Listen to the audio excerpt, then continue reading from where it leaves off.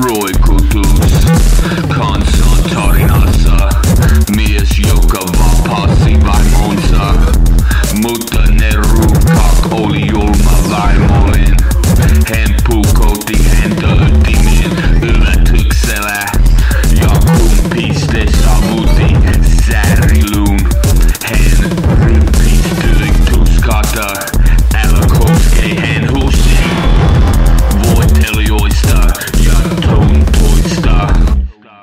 star